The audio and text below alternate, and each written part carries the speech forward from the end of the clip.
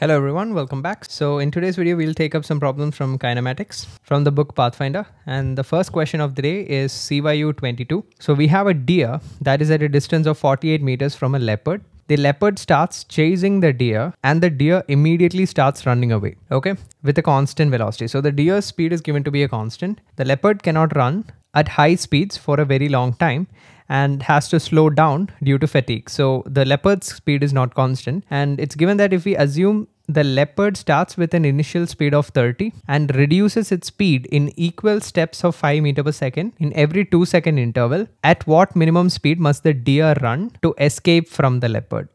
Okay, so let's first draw a rough sketch Okay, so let's say the leopard starts from this particular location and the deer is initially present at this particular location. And the initial separation between them is given to be 48 meters. Another info that is given to us is that the leopard's initial speed is 30 meters per second. Now as it, it's given that its speed reduces in equal steps of 5 meter per second every 2 seconds meaning it will travel with constant speed of 30 for the first 2 seconds. And after that its speed becomes 25 and at time t equal to 4 seconds it will become 20 at 6 seconds it will become 15 so on and so forth. So for every 2 seconds it's a constant okay and after that it reduces by 5 so that's how the leopard speed is varying now the deer speed is a variable meaning we we have to choose the speed of the deer right and we have to ensure that the deer never gets caught that's the goal and we also have to decide the minimum case Let's say the deer speed is 30. So if it is 30, then the deer will never be caught. Why? Because the leopard speed is 30 initially and it will keep decreasing, right? So, so what will happen is the distance between them will increase and the deer will never be caught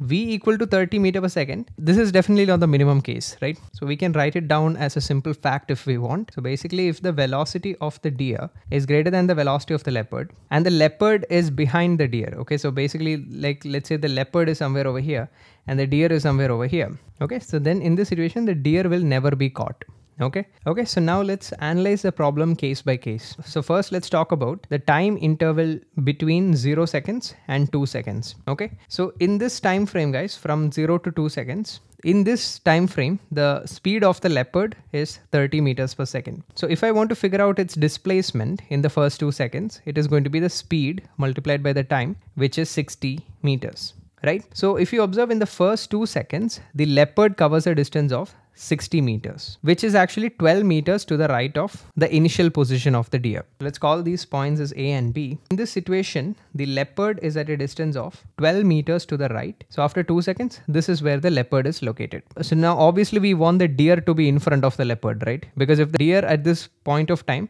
is somewhere over here, then that means the deer was caught before 2 seconds, right? We don't want the deer to be caught, right? Which means in this time frame of 2 seconds, the deer has to cover a distance greater than 12 meters. So which means this constant speed at which the deer is traveling must be greater than 12 meters divided by 2 seconds, which means it must be greater than 6 meters per second. So if it travels at 6 meter per second guys, the deer will be at this particular location. This is a bare minimum, right? If it is traveling at speed less than 6 meter per second, what will happen is that the deer will be caught at some time less than 2 seconds now we obviously don't want that, right? So we definitely want the speed to be greater than 6 meter per second. So is the answer to the question 6 meter per second? Now let's say the deer was traveling at 6 meter per second. So observe what will happen. So if it travels at 6 meter per second, the deer will also be over here right at right where the leopard is and its speed is going to be 6 meters per second because the deer's speed is constant right whereas the leopard speed is different we're talking about t equal to 2 seconds, right? So right after t equal to 2 seconds, guys, the velocity of the leopard will decrease by 5 and now it is 25. So if you observe the leopard speed is 25 meter per second. Now you guys can clearly see that in this situation, the leopard will clearly catch the deer, right? Because the deer speed is smaller and the, than the leopard speed and they are actually very close to each other. So the le leopard will definitely catch the deer in this case. So actually v equal to 6 meter per second is the wrong answer. So the deer definitely has to run faster than this. So now let's talk about the time frame from 2 seconds to 4 seconds. In the first 2 seconds, the distance covered by the leopard was 60 meters. In the first 4 seconds will be that 60 meters plus the distance covered in the time from 2 to 4 seconds and in that time frame, the speed of the leopard is 25 times 2. So this comes out to be 110 meters. Okay, so basically an additional distance of 50 meters got added. Okay, which basically means that t equal to 4 seconds, the leopard will be at a distance of 12 plus 50, which is 62 meters. So the leopard will now be at this particular point. Okay. So again, using the same concept guys, the deer starts from here, right? So we want the deer to at least cover a distance of 62 meters in this particular situation. So we want the deer's speed should be to be at least greater than 62 meters divided by 4 seconds, which comes out to be 15.5 meters per second. So if it travels exactly at 15.5 meters per second, then the deer will be over here as well. So after 4 seconds, both the deer and the leopard will be at the same location if the deer was traveling at 15.5. Uh, in if we assume d speed is 15.5, it will have a speed of 15.5. And now as we're talking about t equal to 4 seconds, uh, right after t equal to 4 seconds, the speed of the leopard will become 30 minus 10, which is 20. So at this particular location, the leopard speed is 20 meter per second. So now again, as you can see, the leopard is faster, so it will catch the deer. So even this is not the correct answer. Okay. So now let's talk about t from 0 to 6 seconds. t equals 4 to 6 guys. The speed of the leopard is 20 meters per second, right? Which means it covers a distance of 20 multiplied by 2, which is 40 meters. Okay, so now, so all we have to do is add a 40 meter distance to 62 meters, which means now the leopard is at a distance of 62 plus 40, which is, which is 102 meters from the initial position of the deer. So now we clearly want the deer to cover a distance of 102 at least in a time period of 6 seconds. So which means V is greater than 17 meters per second. Okay, now let's assume it travels at 17 meter per second, which would mean that the deer is also at the same location as the leopard and it will have a speed in this situation of 17 meters per second. And what will be the speed of the leopard? So after 6 seconds, it will again reduce by 5 meter per second. So its speed is going to be 15 meters per second. So now in this situation, as you guys can see, uh, just before t equal to 6, its speed was 20 which means the distance between the leopard and the deer was decreasing, right? Because the leopard is faster. So it was getting closer and closer to the deer.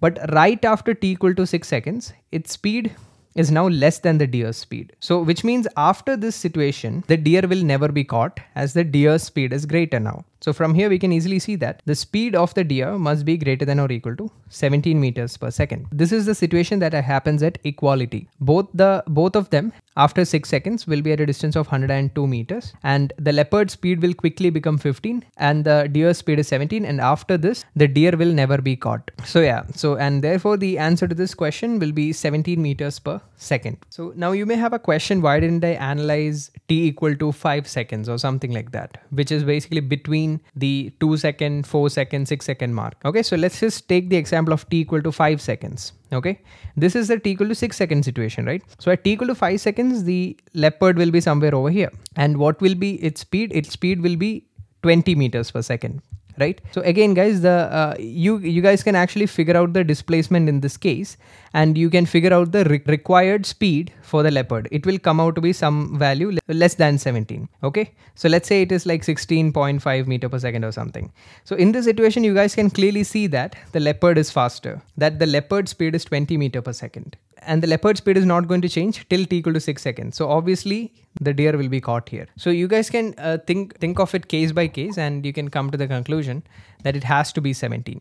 And if it is greater than 17, then then it's pretty obvious because um, let's say the speed of the deer was 18 meter per second. So then the deer will be over here, right? At t equal to 6 seconds. And here its speed is 18 meter per second. And the leopard will become 15 at this particular location. And after this point of time, the separation between them will start to grow. This is pretty obvious that the deer will never be caught here. Okay, so the limiting case is clearly 17 meter per second when both of their separation will become zero and after this point the deer will start moving faster. So therefore v equal to 17 meter per second is the minimum speed with which the deer has to run. So that's about it for this question guys. Now let's move to the next question. So it's given that on a large slippery ground, a boy left his dog sitting and walks away with a constant velocity of 2 meters per second. When he is 199 meters away from the dog, the dog decides to catch him and thereafter moves together. The dog cannot develop acceleration more than 2 meter per second square in any direction. In what minimum time will the dog meet the boy? So the information given to us is that the maximum acceleration of the dog is 2 meters per second square and the boy is traveling with a constant speed of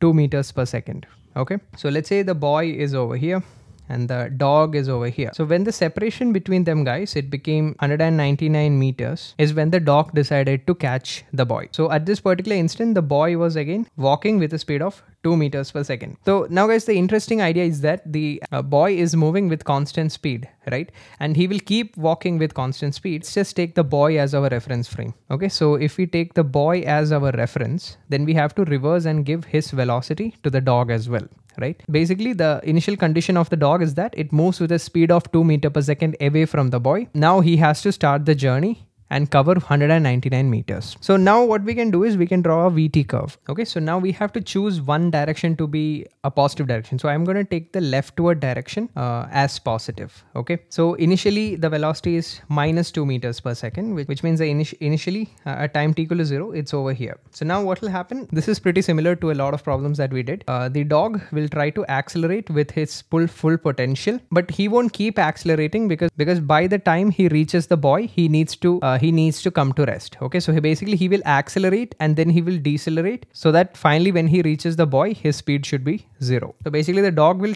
accelerate to the full potential and then it will decelerate with maximum potential and finally come to rest when he reaches the boy. So this is how the VT curve should look like. Okay, and the area under this particular curve should be equal to 199 meters. So what the area of this small triangle, let's try to figure it out. So guys, the acceleration of the uh, dog is 2 meters per second square. And the velocity, initial velocity is 2 meter per second. So the zero will be at 1 second, right? So basically it will come to rest in 1 second. The area of this triangle is half ph which will be 1 meter. So guys, if the net displacement is 199 meters and this negative area is 1 meter, which means the positive area needs to be 200 meters, right? Why? Because 200 minus 1 is the total displacement and that is 199 meters. So now all we have to do is figure out the area of the triangle. So let's say the base of the triangle has a length of t. So by symmetry, we can say that half of the base is t by 2 and uh, we know the slope of this triangle, right? The, sl uh, the slope of this is 2 meters per second square. So the height of this triangle is t by 2 multiplied by 2,